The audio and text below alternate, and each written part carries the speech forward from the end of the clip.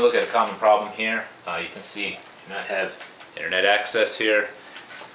So um, I don't want to use the Wi-Fi or I can't use the Wi-Fi and what I really want is uh, a cable to plug in but I don't have a jack. So I could try to wire this room. That's often difficult um, and messy and can take a lot of time. So an easier solution is to use power line adapters. Uh, they come in pairs and the idea is that it uses, you plug it into an, a, an outlet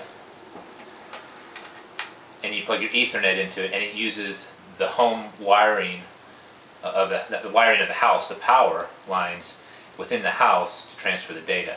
So it's really easy. They come in pairs. You plug one end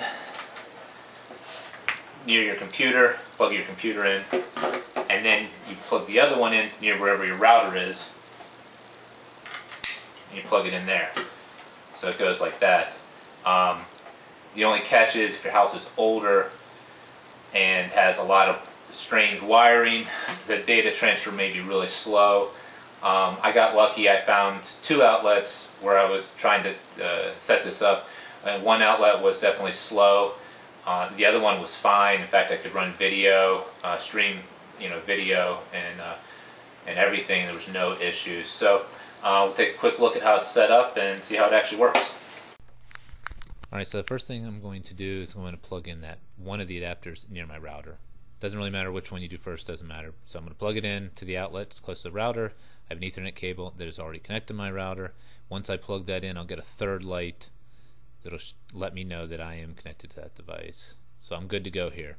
So now I'm going to take the other adapter, I'm going to go in a different room, the room that I want the internet access to, plug it in to an outlet near my PC or my laptop.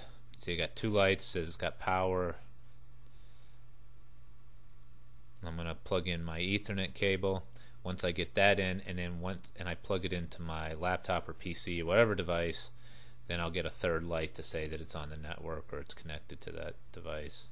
So I'm going to plug this in, and you can see um, I don't have internet access, if you can tell, and a little bit hard to see, but it's searching for the network. It connects, and I'm just going to bring up a web page real quick to just test it, and bring up CNN com and there you go I'm, I'm there somebody is guilty so I hope this helps real simple solution good luck thanks